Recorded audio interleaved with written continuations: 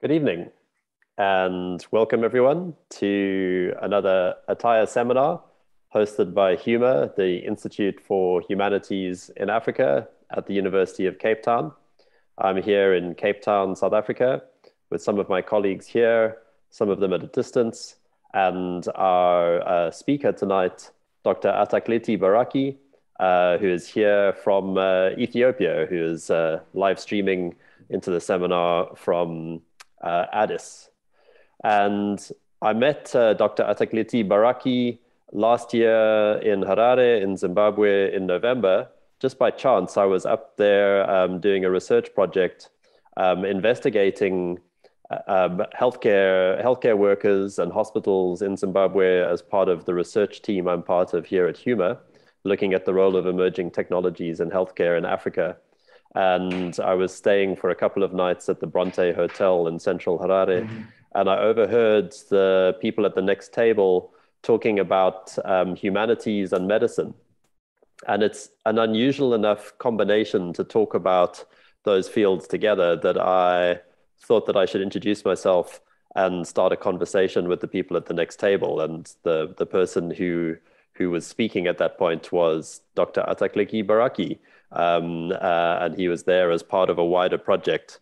And uh, Ataklitie is uh, a fellow and a program director at the College of Surgeons for Eastern Southern Africa, and he's president of the Surgical Society of Ethiopia. Um, uh, he's also an executive member of the Ethiopian Plastic and Reconstructive Surgeons Society, and he's also an artist and a graduate of an art academy. Um, and through the Smile Train project, he has brought smiles to more than 4,000 cleft lip and palate uh, patients. So we're really happy to welcome Ataklitie here. Um, we are particularly interested at HUMA in interdisciplinary work. And with our research uh, strand that looks at uh, medicine from a humanities perspective, and also for myself personally as a practicing artist who's using art as a means of researching um, healthcare issues and i'm working on a collaboration with medical workers uh, yeah we're all really interested in the area in which uh, dr Ataklitie is uh, working so without saying uh, saying much more, I know that the topic that uh, Ataklitie is going to talk about is about bridging these areas. He's looking at various um, uh, ways of interpreting that and shaping that. But I'll leave that to Ataklitie to outline for you.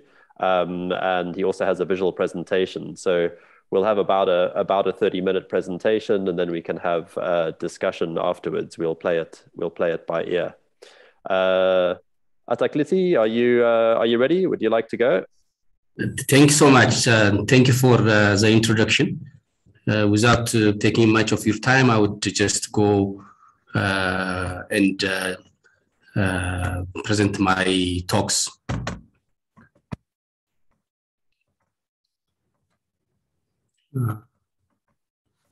Yeah, if you'd like to go full screen on that, then um, yeah. you go. Oh, you go back one. Perfect at the end of the presentation, I would expect all of us to uh, understand the definition of humanities, medical humanity, and uh, I would briefly discuss on the brain model and the functional windows. And uh, lastly, we will discuss on the four pillars of humanities in medicine.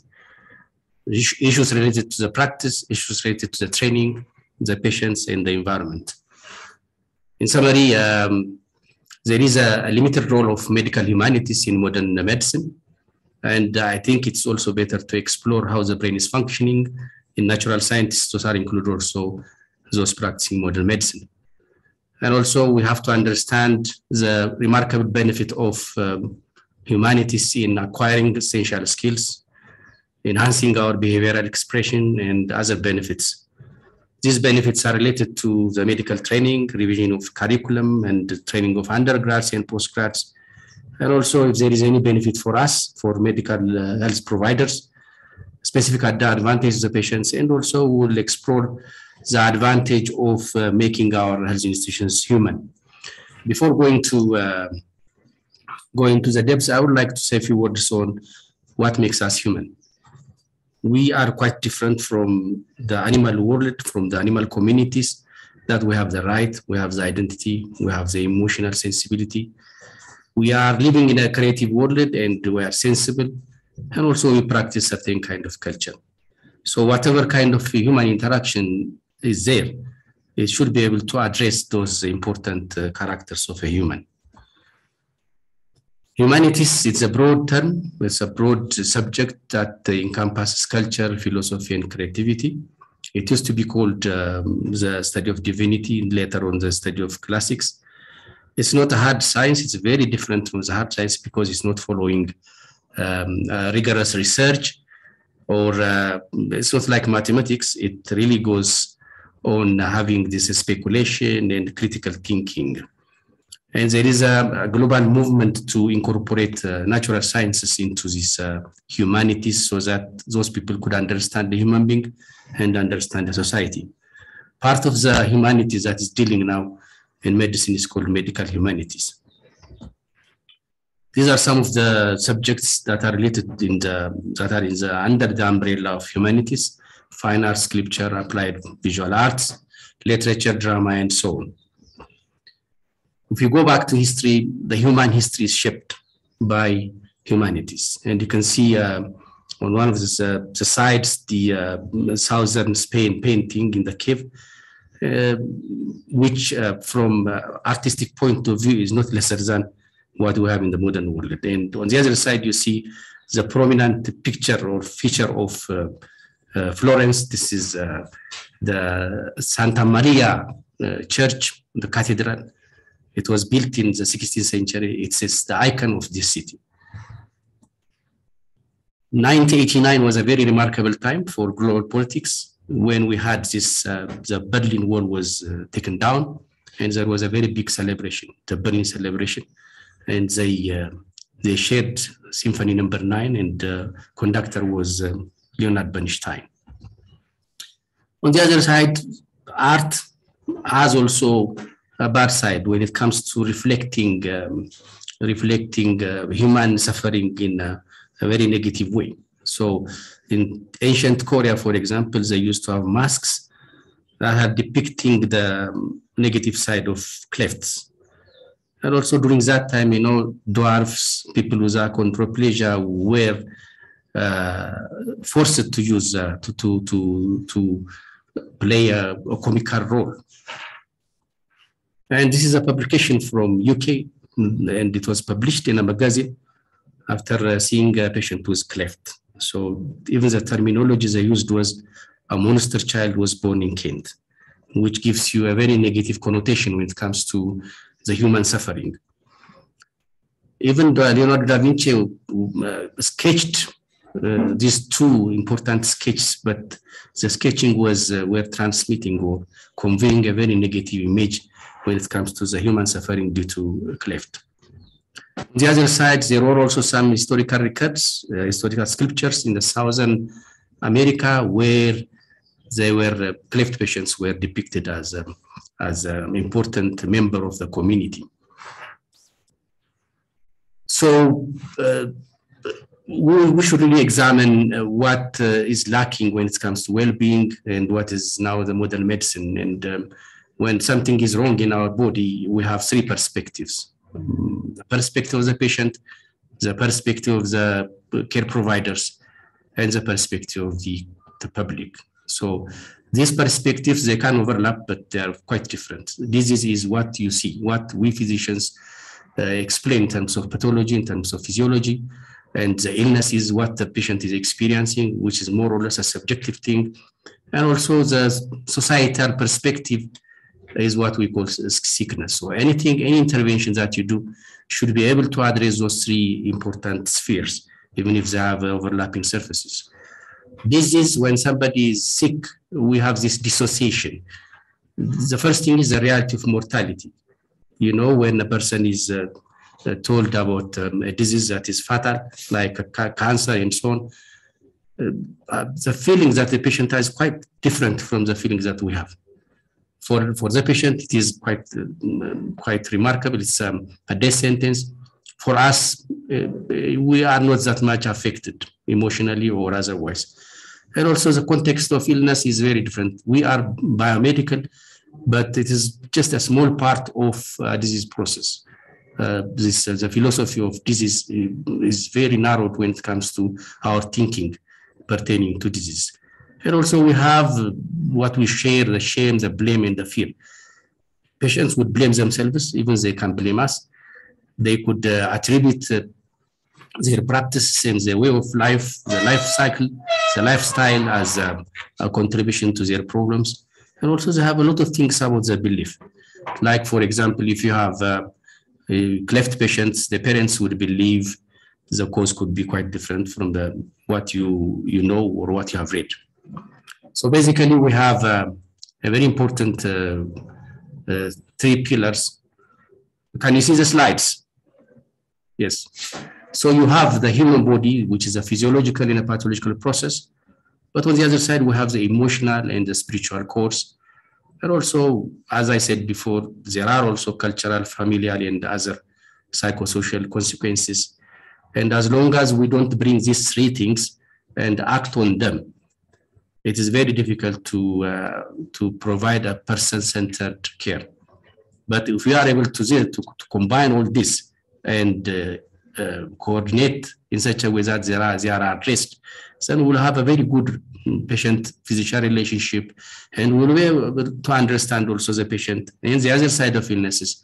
Our bond will be very strong and patients would feel that they are heard and understood and ultimately well-beingness will be, will be the ultimate outcome. But unfortunately, modern medicine uh, uh, is very narrow in terms of addressing all this. And uh, probably I'll come back into it later on. It has lost the art part, the subjective part. And uh, for me, modern medicine is science because it is uh, uh, passing through rigorous experimental processes from observation, animal models, and so on, until a fact is practiced as um, the best practice. So it's basically evidence-based, and it's focusing on the physiological and pathological changes. Ultimately, we'll have guideline uh, based on the best practice, and if this is not working, it will be obsolete. So we have challenges in modern medicine. I'm trying to relate this later on with the benefit of humanities. The first thing is it is profoundly dependent on advancing technology. And we have natured the human body into compartments. Nowadays, medical reductionism and brutalization medicine is a very common practice. A cardiologist wouldn't uh, think of the kidney, wouldn't think of the skin, wouldn't think of the, the social and psychological aspect of the patient and the body of the patient is really reconceptualized into systems and into compartments. And we are trying to shift, we are already shifted from the subject part of medical care to the objective part. And I can see a clear cut dichotomy between the art and science in medicine. On top of that, there are workloads, paper, uh, increased demands, and so on from the public. So uh, the other part of uh, modern medicine is uh, inhospitable institutions that we have created. This picture that you see on the slide is one of the emergencies in um, uh, the biggest uh, hospital in the country. This is the emergency. As you can see, this is inhospitable. And I see hospitals like uh, Machine for Healing. And gradually, from time to time, we are shifting from giving care to giving cure. And it's far away for us to, to provide person-centered care. Still, we are practicing a physician-centered process. So basically, we are giving cure. There is no problem in the modern world to reach a diagnosis or to give uh, good drugs or to do good surgeries, but the care is not around. There are some changes that you see in hospitals, but these are uh, mere aesthetic improvements as far as I'm concerned. So uh, these are two important examples that you see on the slides. Abraham Verghese had a talk on uh, TED.com and it was a very nice uh, interview. At that circumstance, he was telling us that at all times patients would need to be listened and touched. They are not coming to you to get good drugs or to have sophisticated surgeries. The very important purpose of them coming to us is to be touched and listened. So you can see the current rounds and bedside teachings. They are really touching us from patients. The second good example is the experience of Helen Crispy. She was um, a nurse who had hysterectomy that was really coupled with medical errors and so on. But you know, she was in the hospital for a very long period of time, for months and months, and nobody knew her name. The only uh, uh, reference for her is the room number that she was in the ICU. So everybody was calling her, you were the patient in room number two. No identity concerned and nothing. She was not a person for them. So these days we are calling patients not on their name, but on the disease they have. So if uh, the person has a goiter, neck swelling, brings a goiter patient, not the patient by name or by identity. But you know, if you go deeper to uh, illness, to sickness, to disease, we have the other side of illness.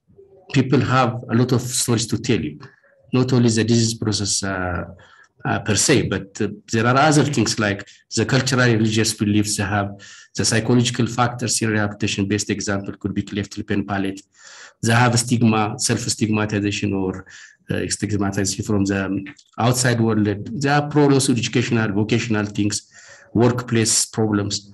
They have their own frustrations, expectations, satisfaction with the intervention. And also we cannot underestimate the economical burden. So every patient, every person in this world has a story to tell. And it is up to us to really focus on the story of um, those people so that we can understand them. We can understand the human being, we can understand the society. So basically what I believe is uh, medical care should ultimately end up in giving us healing, healing of the body and healing of the soul. During all times, physicians were not able to diagnose because of the less advanced technology.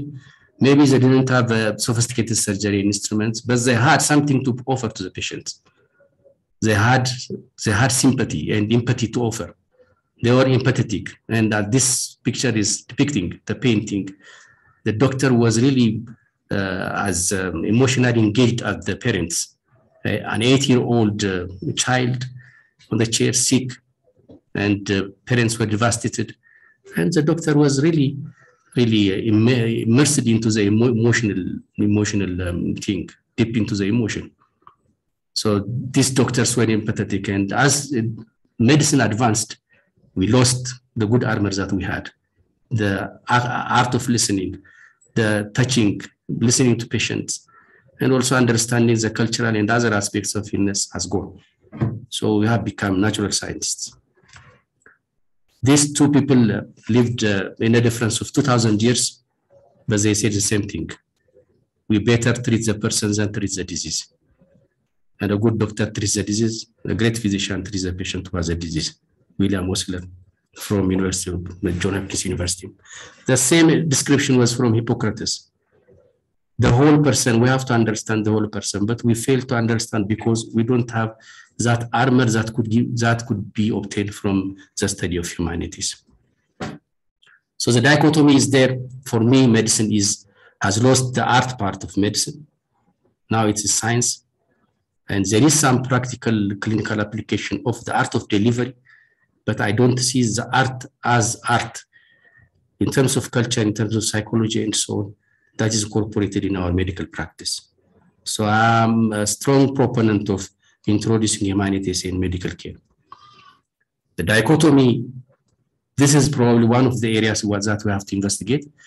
Is it because natural scientists are not, are having a very different kind of brain function, brain utilization rather, that uh, we forget the society, we forget the human being. So I'll take you to a brain model. The right uh, left hemisphere model uh, is a structural model where you have this uh, access to right, access to left is uh, lateralization of the brain. So the intuition, the creative, and uh, so on are on the right side for right-handed people. The opposite is for the left hand. So the analytic part is uh, left part for right-hand people, and the natural scientists are tend to use more of analytic processes in their thinking process.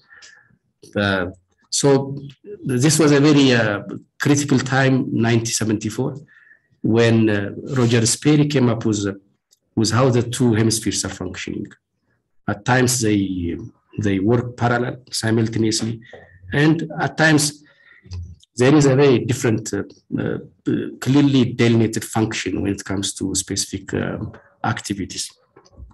So you have this lateralization and you have the intuition, the holistic perception, random sequencing, emotional thoughts, nonverbal, impulse, creativity on the right side for right-handed people. And on the other side, you have the analytic thought. That is very important for natural scientists. The verbal, and, and sometimes, you know, the verbal, for example, the word can come from the left, but the toning of the word would come from the right side. So even by producing a single word, you can have an input from both hemispheres. Like if you put uh, some tone on your, on your, on your word. So this lateralization, I think, is very important to investigate, and it might have some relevance for uh, people in natural science. This is uh, also a very different use of the brain in social sciences. Maybe the storytelling process we talked about, and also exposing to cultures, to the different humanities, music and so on, history, philosophy, would it somehow allow us to access the right hemisphere so that we can understand the society. This was uh, Betty Edwards who translated this uh, uh, the hard model, left-right model, and she came up with uh, some uh, techniques how to knock down the left hemisphere and access the right hemisphere. This is also a freely available book on the net.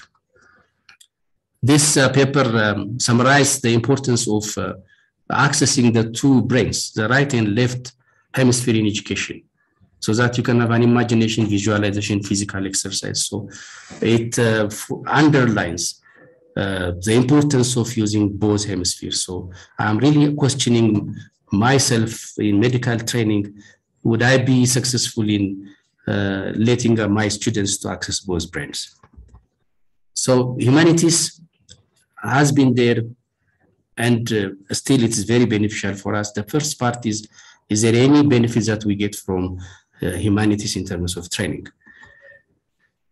So uh, a lot of strategies has been going globally. Uh, universities in the North America and Europe uh, have incorporated uh, the various uh, elective and revised curriculum to introduce study of arts for medical students uh, but still it's lagging in uh, low and middle income country, including Ethiopia. There are some movements to introduce this compassionate, respectful, and uh, caring uh, concept in medical care, which is basically a behavioral thing. And I think it cannot you cannot achieve it with lectures. That's why we don't see any significant improvement. My country has launched CRC for the last six years, but I think there is no much um, much uh, big outcome when it comes to the program. Medical humanities, this is part of um, the humanities, study of humanities, but it's trying to relate medicine with this um, humanities, social sciences, and the arts. So it is using the imaginative processes. And recently I was, um, I was reading on um, narrative medicine. So this is also another uh, venture that you could see a very strong relationship of literature in medicine. This is uh, an armor that you can under- listen to stories, interpret, and also emotionally engaged, understand, and act. And also, it's um, important um, discipline when it comes to understand the ethical dimension of medical practice. We have a lot of dilemmas, we have a lot of um, issues, and only when we are, can understand the society that we'll have a good appreciation of the ethical dimension. And we have to incorporate the subjective experience of patients the objective experience is the one we are doing every day. And unfortunately, traditional medical training is not is not incorporating this kind of um, uh, training on medical humanities. So the study of goal of uh, medical humanities is number one, you understand the human aspect of medicine. The other side of illness, the totality of suffering would be understood you try to relate medicine with creative arts. And also, ultimately, one of the advantages is to be an insightful and compassionate doctors. So uh, we are far away from being compassionate, insightful. We could be good doctors, we could be good surgeons, but we are far behind from achieving a compassionate level that is expected from, from society. There are some interventions like uh, music engagement, visual art therapy, movement based uh, creative expression, expressive writing, or narrative medicine. With this, you can achieve a lot of things, both for the patients and for the practitioners. This journey, the journey in medical practice is not the journey of the patient alone. It's our journey, it's the suffering of both of us. So with this, you can have a healing emotional injury. We are, we are injured as doctors, as nurses, as healthcare providers in front of the patient. We are emotionally affected because we are exposed to the suffering of a human being. So we heal. Both of us would heal. We understand each other. We understand. We understand the patient. The patient can understand us, and also we'll have the capacity to have a self-awareness and self-reflection. We can have also reduced symptoms like burnouts and depression, and also the inclination for suicide, which is three times higher in medical professionals uh, than the rest of the world the community. And ultimately, this would be our behavior and thinking pattern. So in medicine, art has contributed. The fine art particularly has contributed in terms of uh, medical training. This is a sketch by uh, a painting by Rembrandt from uh, Dutch, um, reflecting how anatomy of the hand was studied. Da Vinci uh, left us a lot of uh, sketches anatomical sketches. And he was also the one who was dissecting uh, cadavers even in the time that was not allowed. So there was an extensive um, uh, art products from this guy from Italy, a very versatile person. Uh, you can have also the, this uh, book, Gray, Gray Anatomy. It has it has gone through several editions, and it's still one of the best uh, anatomy book you have also Andre Vesalius' uh, clear depiction of the anatomy of the hand. William Hunter had a lot of uh, sketches, a lot of sketches, particularly sketches related to gynae and obs practice. This was the time before the advent of photography. I can't, I can't, um, it is very important now to talk about this guy. This is uh, uh, Charles Bell, an educator and a neurologist who had a lot of sketches and a lot of uh, products that were so helpful for his students and patients. Some of the, his paintings really showing the degree of suffering of the patient. Not only he depicted the disease process, but also you can see the suffering of the patients, the emotional expression of the patients such a detailed works from him, very important for uh, medical doctors, were brought by Charles Bell. Frank Netter, this guy contributed about 4,000 products and uh, almost most uh, anatomy atlases are, are produced by uh, Frank Netter. Frank Netter was from New York initially. He went to um, the um, designer school. He became an interior designer, but the mother, his mother pushed him to be a doctor and he went to medical school. He finished his uh, MD, but he couldn't stay long in medical practice. And he saw his last patient in 1934. He produced uh, 4,000 pictures. Uh, he worked for CIBA. He was a major contributor when it comes to the study of anatomy globally. So undoubtedly, uh, humanities contribute to the medical training, at least from the examples that I showed you the art, the fine arts really contributed to our training. Is there any benefit for practice? Yeah, this is um, the practitioners. You know what we are lacking is some of the skills, like communication skill. We don't have the original skill, and we are not that much culturally sensitive to the patients. There are issues related to the ethical values. The respect between patient and doctor has been eroded and it's far, we are far away from achieving empathy. And our decision making process is purely biomedical. From the data that we have from lab and imaging data, we decide, but that decision making is not involving the patient. It is we, this, we know everything for you, is our motto. Our understanding is that. So our decision making is a unidirectional from our side. But if this is improved through humanities, we can achieve so many things like imagination, self-awareness, creativity, even burnout will be reduced. We could be empathetic and we'll have a pleasure experience. And ultimately, you can achieve a person-centered care.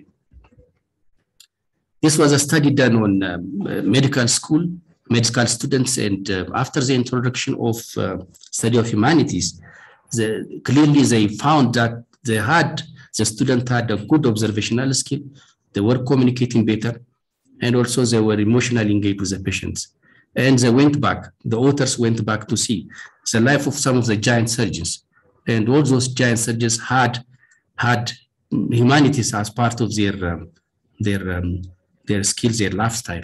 So these are giants, pioneers in most of the surgeries, and still they were also deep into the humanities. This is another study on medical training. The same thing is achieved. People could understand sickness, they could reconnect.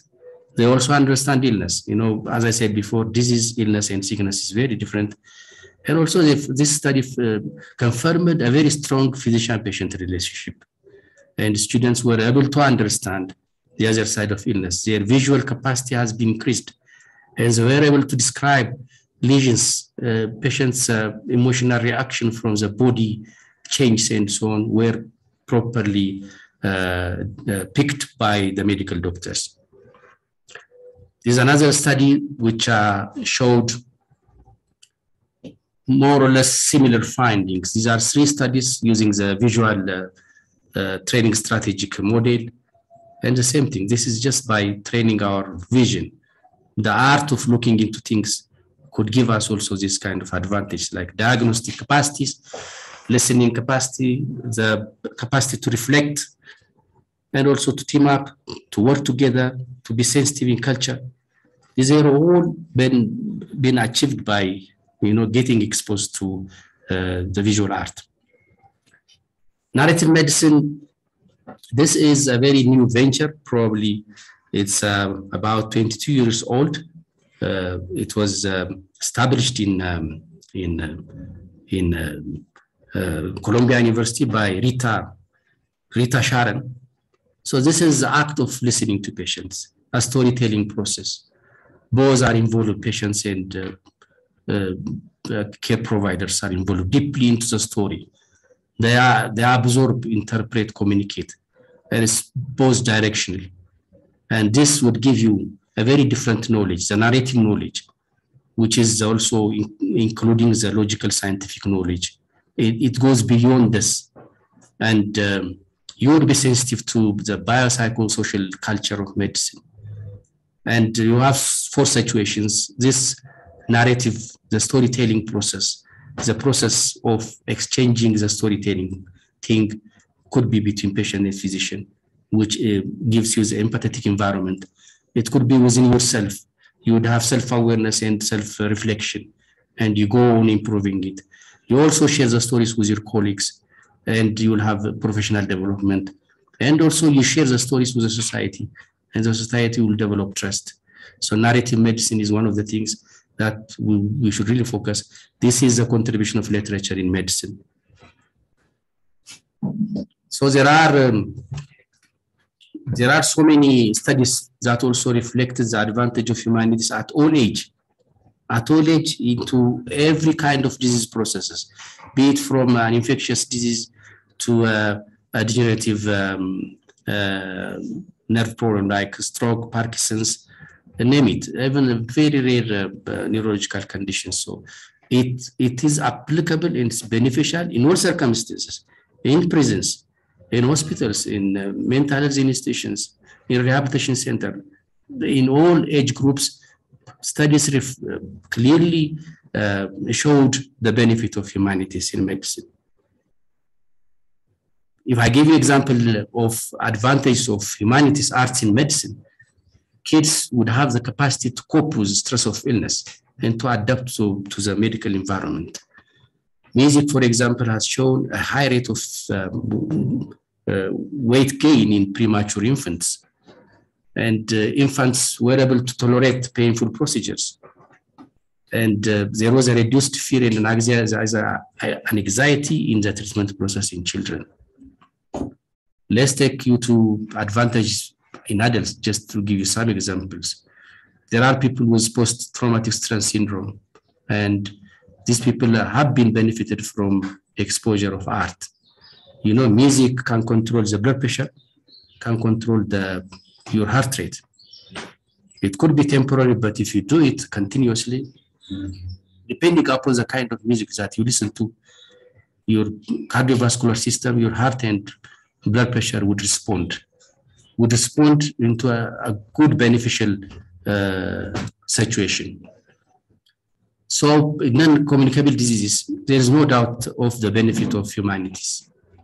As I said before, people with stroke and other uh, neurological conditions, a study found that their creativity may not improve, but their uh, capacity that is achieved at that period of time may not be lost. So they would still be active. They would still play music. I'm talking about perhaps if you have a, a major neurological condition that is involving your lips and so on, that could be a very different story. But in major circumstances, with a stroke and so on, people could live a good quality of life. So it's up to us to offer them a good quality of life. Life is too short, but still enjoyable. However, whatever happens to us, this world is still beautiful. It's up to us to give them a good uh, quality of life. And one window or doors that I could think of is the humanities. Medical therapy with arts also gives you a positive distraction. People with sickness, people who are ill, are always, uh, you know, think of uh, um, think of the negative things like they are nearer to days. Uh, you know, all the bad things are always coming to their mind. So yeah, they need some kind of positive distraction. They, are, they should be expressed, uh, they should express their emotion. They should express the effect of their therapy. And particular intervention could also be taken like educational. They could also be therapy, like you can introduce art therapy, music therapy, and so on. The healing process would be fast and ultimately quality of life would be improved. There are people with permanent disability of different kinds, but these people should not be left behind from the society. They should be able to live quality of life. If preferable, they should have an active life when it comes to the economics, the social and psychological aspect of life. Our health institutions are dehumanizing. This is one of the biggest hospitals in the country where I, I did my training, also where I teach now. It's a very big, huge hospital, and you can see the gadgets and so on in the wards. You can see the cylinders. You have these um, uh, uh, monitors with a lot of sounds and so on. Really, our health institutions are dehumanizing. We, we are detached from, from nature. We have nothing resembling our house when you go to hospitals you can see this lady left alone. You can imagine how she's feeling now. And also you can see uh, this is probably relatives coming to visit uh, patients. These are the hospitals that we are working in. So they are humanizing into because of three problems. They are highly institutional. They are like prison. And also they are highly technological. And the people working there, the system that's established, and the major goal of the hospitals is biomedical, nothing else. The human body is miniatured and disease is like uh, cause and uh, effect. You have malaria parasite, you have malaria. You treat the malaria, you give drugs, that's it. And nowadays we have this medicalization of a society with medical iatrogenesis. So the dynamism is really frightening we have so many diseases incorporated in the face of this kind of institution. So we have to make these uh, institutions human and uh, intervention is institutional, technological, and biomedical. Humanizing uh, health institutions is not a, a, new story. It's been there for quite a long time, more than 300 years back. People also started, you know, changing um, those health institutions. And some people are suggesting that the hospital should be changed into something like a hotel. Why would you have a fence in your hospital? What if the hospital didn't have any fence and the neighbors are really walking in, sitting with the patient, talking? The patient would have story to tell them. And also the neighbor, people in the neighborhood will have also the story to tell the patients. But our hospitals have fences. It's like a prison. And uh, even you can change something else, something pleasurable. So making it non-institutional is very important. Probably scaling them down, changing the models, separating them with buildings. If you have a small four-story building here for a purpose, then you'll have market and so on. Also houses, residence, and then you'll have another one. And they should be navigatable. They should also address the privacy of patients. So those big hospitals that I have in my country are not navigatable. Even I don't know some places in the hospitals. And also it's better to promote the value of art as a humanizing agent. So a proper internal design would uh, make these hospitals really hospitable. The second part is non-technological. It's better to hide. You know, we have reached to a technology whereby all those machines and so on can be modified in such a way that we don't notice the technological influence of those things. So the sensor, sensescape, how you sense the three-dimensional sensations that you have about the surrounding can be improved. And finally, with the introduction of humanities, when you understand the other side of illness, then your intervention will not be biomedical. It would be a holistic, the true holistic approach will come with humanities. When a person understands man and the society, then that person would be a non-biomedical. So the interior design, for example, can be a good intervention. You can consider the corridors like galleries. You can also put um, um, creative designs. You have to think of uh, aesthetic dimensions of medical equipments. The equipments can be, these equipments are printed three-dimensionally. So it is possible to change the design of those equipments in such a way that people do not feel that they are in the hospitals.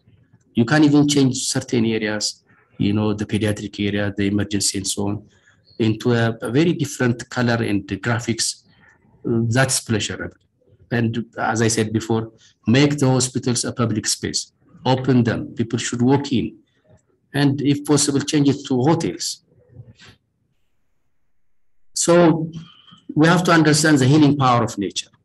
Nowadays, we are detached from nature and we are biomedical. I think we are full. So the value of spaces, the spaces to reflect our feeling where are, we are unwell is very important. Creating a cheerful environment would distract us from our illnesses. So it's up to us to also change the hospital uh, uh, architecture and design in such a way that it reflects a holistic model we should provide patients sense of control, a bodily comfort. We, we don't put them into a prison. Even prisons should be changed into a more pleasurable places. The external view, natural light, the acoustics, the fragrance, all this would contribute to the well-beingness of your patients. And also the kind of color, the space that you give, the private space that you give to patients. I'm talking this based on my reviews of literatures. The human hospitals, they are small, navigatable, architecturally familiar to where we believe, in what house we believe, and nicely decorated. Depending upon the culture, in African cultures, for example, the ordinary house in the rural area is quite different. So changing the hospital's architecture into that resemblance is very important. And also we have to follow this uh, our eye, the visual world that we are naturally created for, follows the rule, like the golden rule for that matter. So you shape the size of the windows and so on really matters. So we have to go deep into the design of these institutions. Color is very important. The color, uh, depending upon the kind of colors that you use, it might reduce stress you have to be very careful the kind of also color used. Some colors could be disturbing, but generally, when it's properly selected, properly uh, complemented, you have all these advantages that uh, you can see. It reduces um, stress, it improves sleeping, uh, well-beingness will improve. The patient will stay a short period in the hospital. And also, people, when they are going to the hospital, they have disorientation. Those big institutions, uh, they give them disorientation. So the disorientation would be reduced. And also it diminishes medical errors to your surprise. So color, use of proper color in hospitals would be advantageous. Other therapies can be included. Aromatherapy, art therapy, music therapy, art and music therapy, particularly in medical institutions, in pediatric institutions is very important. The use of uh, change environment of pediatric hospitals is uh, very important to be um, uh, considerate of the age of the patients. So we have to conceptualize the different ages uh, because what you do for a five-year-old would be very different for a 16-year-old um, young girl. So as I said before, we have to treat um, hospitals like galleries and we have to change them to something pleasurable so that people would be distracted from their uh, illnesses, including children. In summary, uh, the role of um, humanities, the role of art, art as a component of modern medicine is no more existing now. This is my personal view. Uh, it's better to explore how the brain is functioning. And uh, there is clear evidence that humanities would give you a remarkable advantage in terms of acquiring skill, in terms of the ability to express behaviors and other advantages. These advantages we talked about so far could be related to the patient, could be related to the training, could be related to the healthcare provider. And also it can include also the humanizing process of health institutions. These are my references. I would like to uh, to acknowledge uh, certain organizations, my families, my friends, people from the art school, including my teachers, and also the various organizations that uh, invited me to talk on the same subject. And also finally, I would like to thank you, Dr. Raf, and also your institution, Institution of Human, Humanities in Africa, for inviting me to give you, uh, for, for inviting me. This is an opportunity for me to share with you what I think so I would like to thank you. Uh, and finally, this is uh, uh, my gallery. Is it coming?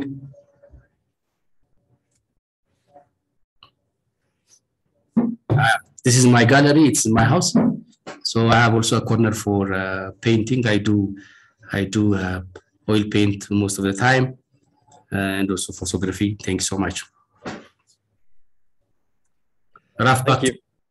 Yes, thank you very much, Ataklitie. That was a very thorough and humane presentation. So thank you very much. And um, I'll ask you to stop uh, sharing your screen and we'll go back to our, to our videos. Thank you. Great. Um, is there is there anyone in the audience who would like to ask a question or make a comment? You can use the little um, reactions emojis on the bottom of the screen to raise your hand if you would like to um, to say something, make a contribution, ask a question.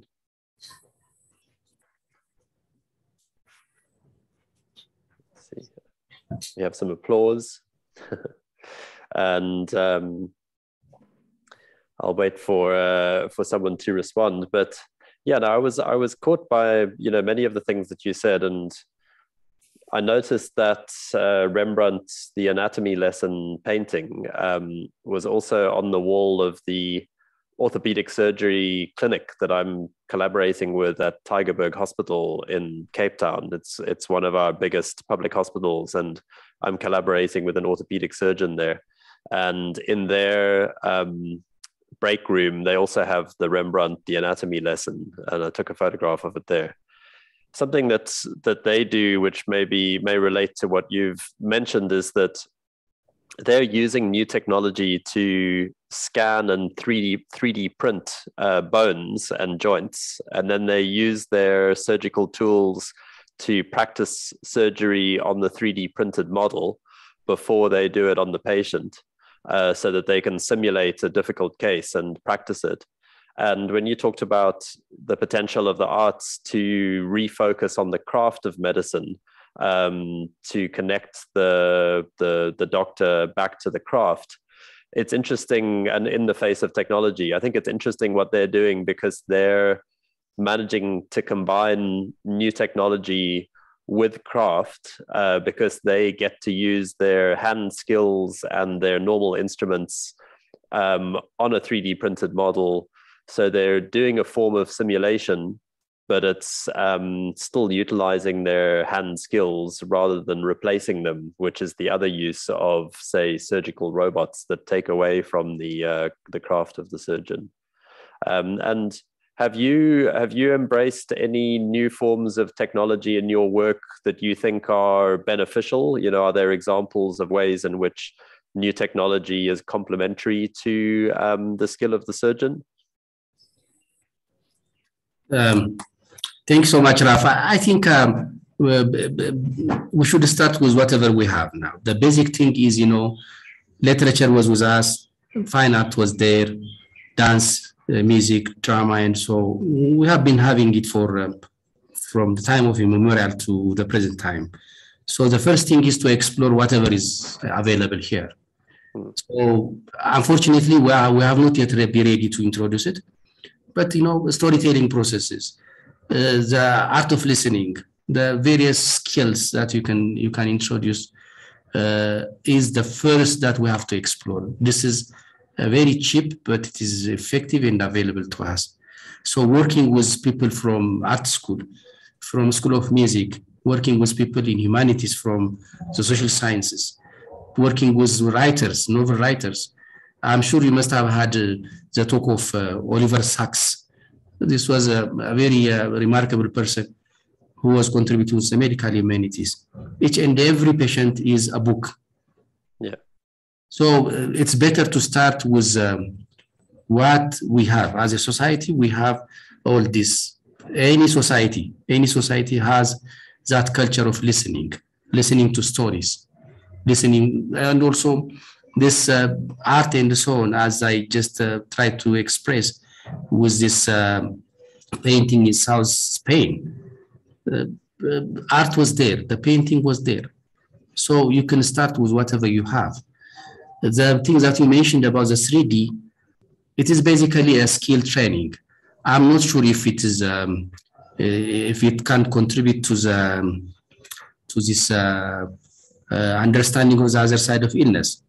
It is basically uh, a skill.